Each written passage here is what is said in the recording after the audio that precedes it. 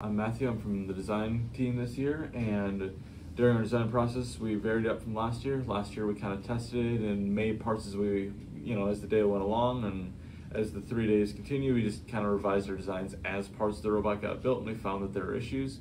This year, we actually took a pause from building until we completely finished out a CAD model.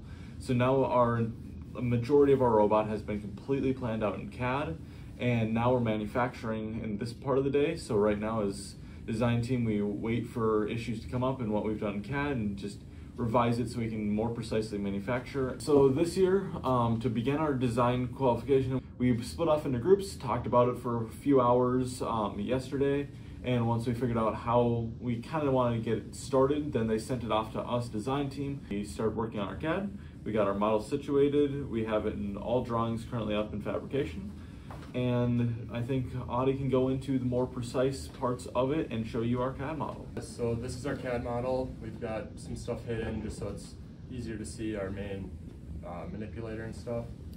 So with our intake under here, it's going to come under our bumpers uh, into this front roller that's going to pull it up further into our robot with this secondary roller to help assist it into the robot.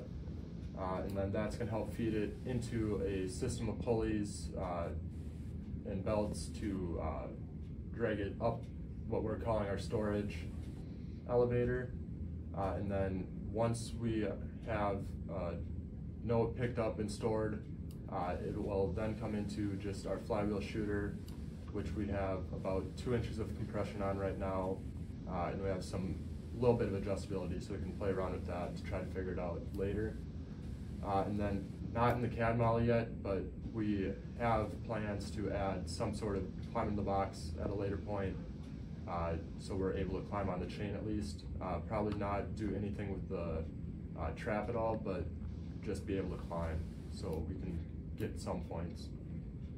Uh, and besides that, it's pretty basic, not a lot going on, but still enough to be different than others we think.